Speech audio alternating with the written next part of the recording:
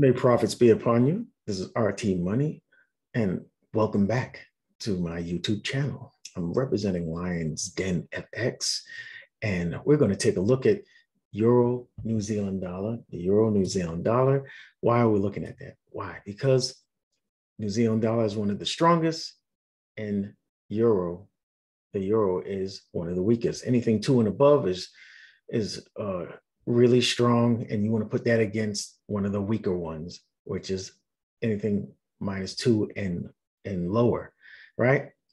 Uh, that gives you the greatest uh, chances for success in taking uh, uh shorts in euro New Zealand dollar.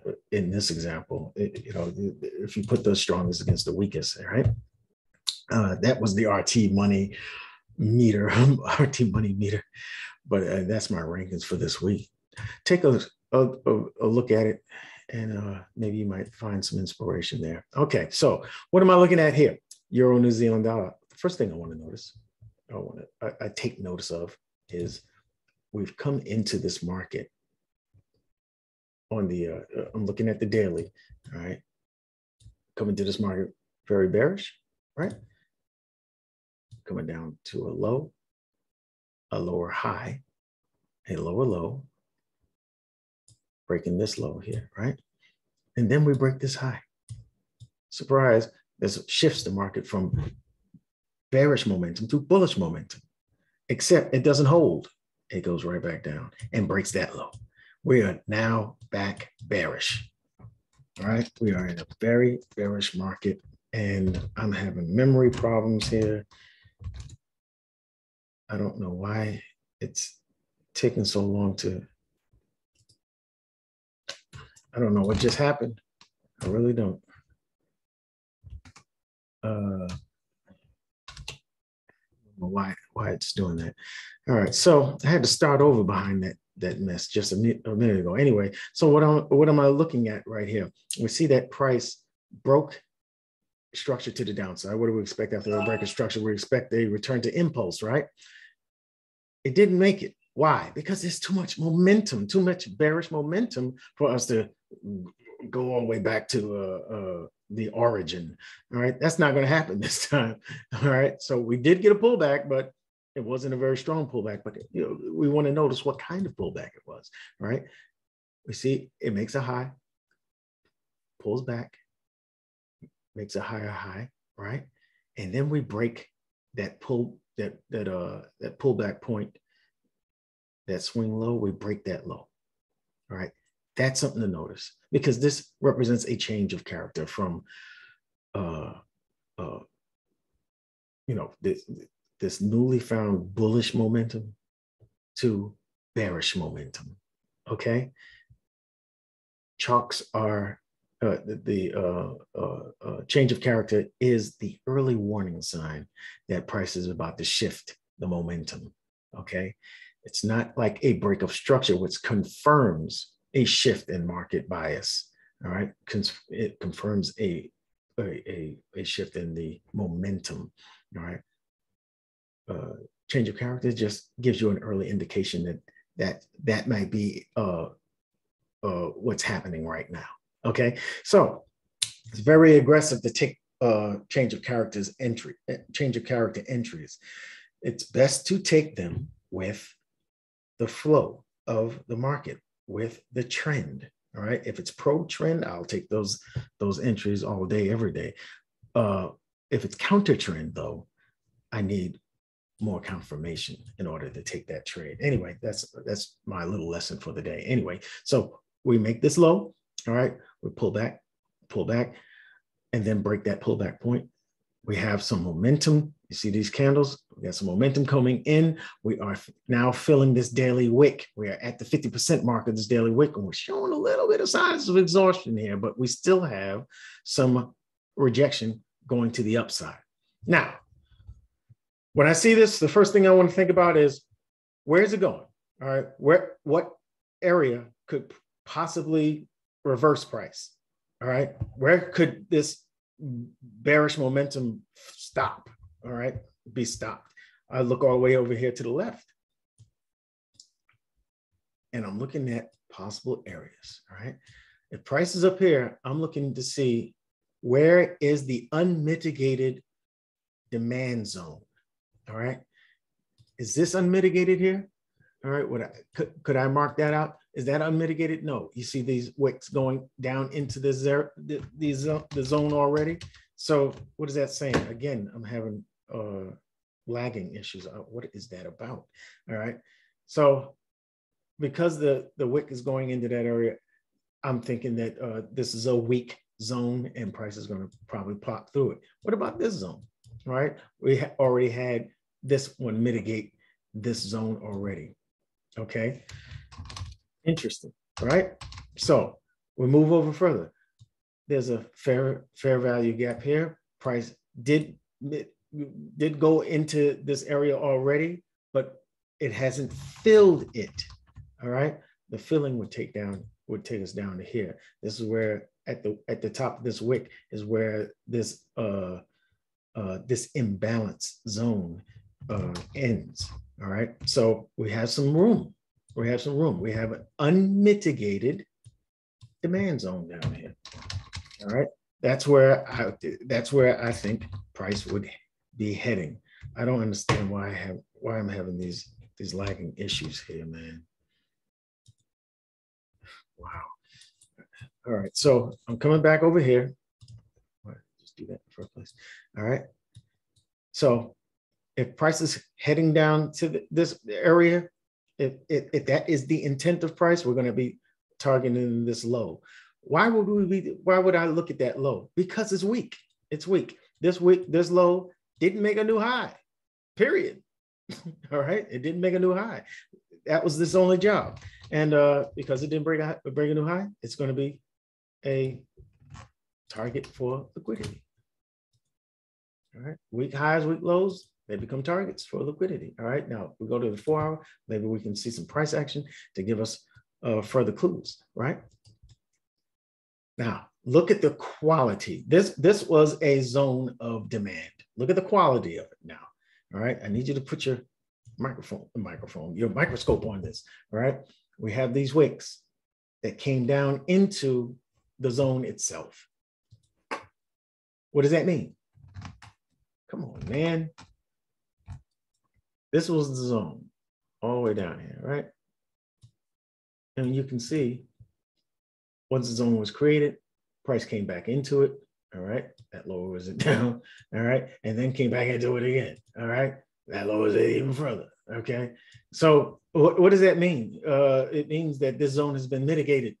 That means that it's not as reliable to reverse price all the way up. Maybe we'll get a reaction, but it won't reverse price. Here is an unmitigated zone. All right. You see, there's a gap. There was a uh, imbalance leading up to it and uh, uh, it's it hasn't been uh, tested yet.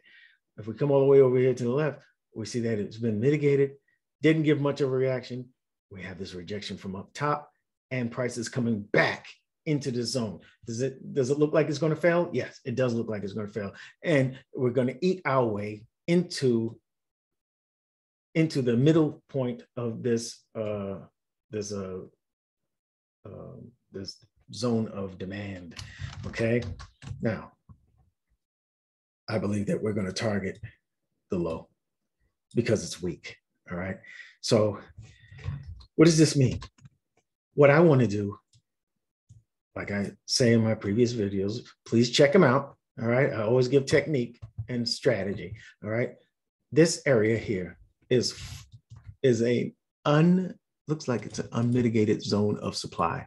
I'm gonna check it out real close. Yeah, we haven't been we haven't mitigated it yet.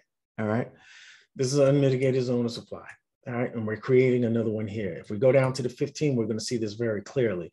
But what happens is when what happened was, all right, what happens is if price breaks through a zone of demand, right?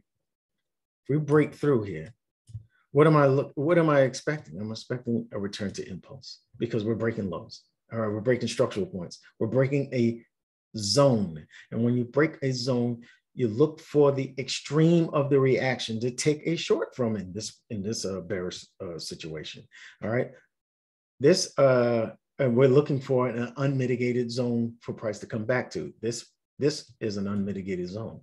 Okay, now that doesn't mean it stopped. It the the reaction has stopped. We can see how this is a bearish candle here. Let me get rid of this. Excuse me.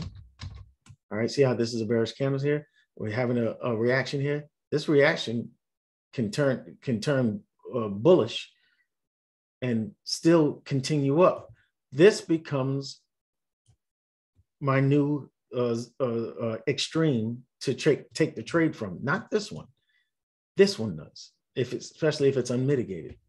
Do, do you understand? You go with the most recent reaction and the extreme of that reaction to this. Sorry, to this uh, zone of demand. So if price comes back up here and then crashes through, this becomes my extreme right here. This is where I would wait for price to come back to and I would take my short. Hope that clarifies. Okay, so I want to take a look at the price action on 15 for your viewing pleasure. All right. And uh, let's see if we can refine some things. All right again, this is the area that has not been mitigated yet. We see we have equal, equal, we had equal highs until price came up and swept, swept that liquidity with this wick here. All right, creating a new zone of supply. So this is the last reaction point. And this is the extreme of that reaction. So if price continues down from this point, and then comes back up, I'm looking for price to hit me here. Yeah, hit me on this uh this zone so I can take my uh short from here, just like that. And I would pick a uh, a higher time frame uh, target. Uh, you know, matter of fact, that daily zone I have down here, that's where I would be targeting full shout, full shout. Do you understand? All right. That's that scenario. Got it? Now, should things go the other way, all right, should things go the other way, maybe, maybe price does one of these numbers, right? Makes a low, a lower low, breaks to the upside. What am I doing? I'm looking for the uh, return to impulse, the return to origin, and I would take a long here. I would because we're at a, a zone, a, a, higher time frame um, uh, demand zone. We just showed a change of character. I would look for a break above these highs for a break of a break of structure, which would confirm the uh, the the upward uh, momentum is is is definitely uh, in play, and I would wait for a, pr- a, price to return to impulse, and take that confirm that confirmation entry. This one is more aggressive. If you wait for the change of character, a low, a swing, a swing high, a lower low, and then a break of that swing high. You understand? Wait for the price to come back. And this is more aggressive. That is a change of character uh, entry. All right, it's riskier. This is the confirmation after you wait for a break of structure. This is the confirmation entry, which is safer. I hope you understand those two scenarios. All right, so we're prepared to go either way. If we got to go long, we'll wait for a confirmation. All right. If we got to go long, that is a pro, that is a, a counter trend trade. Do you understand that? In this scenario, this is a bearish scenario all right, because the market is bearish. It would be a counter, counter trend trade to wait for a price to uh, head back up, riskier trade. So you need confirmation.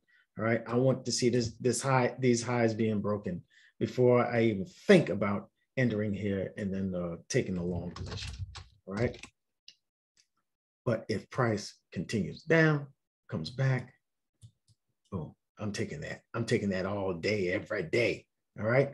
If it comes back, if it if it uh, uh, comes back sooner, you know, without breaking this breaking the uh, uh, demand first, all right, then I'm looking for uh, a, a, a, break of structure to the upside. Or I'm looking for that change, that break of structure and a return to impulse, and then I will take that trade up. You understand?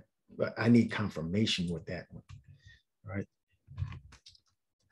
Hope you understand those two scenarios. I hope this uh, uh, analysis benefited you in some kind of way. Make sure you leave a like. Uh, you know, just tap the like button for me if you don't mind. That would help the YouTube algorithm and help my channel to grow. All right. Uh, uh, uh, look at check out the two videos I have on your screen right now. Both of them pertain to the week ahead. And I want you to trade safely. I'll see you in the next video.